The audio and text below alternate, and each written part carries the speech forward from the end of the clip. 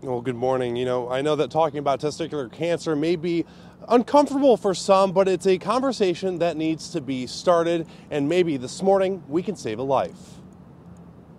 Testicular cancer is one of the biggest health issues facing young men ages 15 to 35 today, and it's time to raise awareness about the disease. Mike Craycraft is the founder of the Testicular Cancer Society. He is also a survivor of testicular cancer. Mike wants to bring resources to men who are battling this rare but common cancer in young men. I felt a lump and waited seven months to get diagnosed. So I figured as a healthcare professional, there's a lot of other people out there doing the same thing. And so if I could help prevent that delay, as well as kind of be the spoke of the wheel uh, and get people to come to me, I could show them where resources are. My youngest brother, Hamden Mead Maxwell, was also diagnosed with stage 1 testicular cancer in October of 2019 at the age of 24. The first step in treating testicular cancer, Henry Ford urologist Dr. Craig Rogers says, is to remove it. After that, there may be treatments that include chemotherapy, radiation, or further surgery to remove lymph nodes in what's called the retroperitoneum.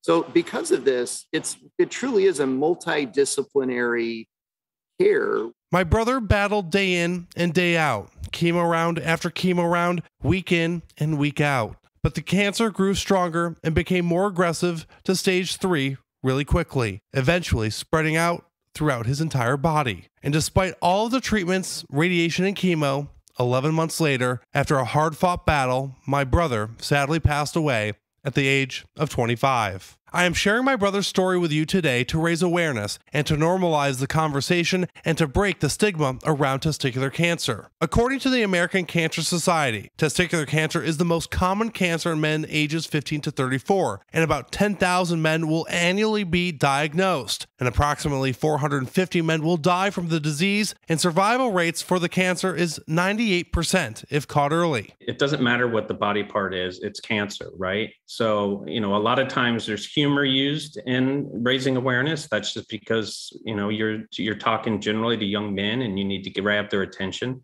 Um, but it should just be like any other conversation.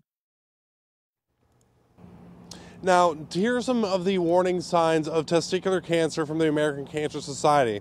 A painless lump or swelling in your testicle, pain or discomfort in your testicle or scrotum, a dull ache in your lower abdomen or groin, or sudden buildup of fluid in your scrotum. And the biggest advocate, Dr. Rogers says, and every doctor that I've spoken to, is yourself. And as a caregiver, as a former caregiver uh, for someone who did have testicular cancer, it's a disease that no one and no men should have. And you should definitely get checked out if you do feel that something is wrong. Reporting in Detroit, I'm Peter Maxwell, 7 Action News. Thank you so much, Peter, for sharing this story. And normalizing the conversation is so important.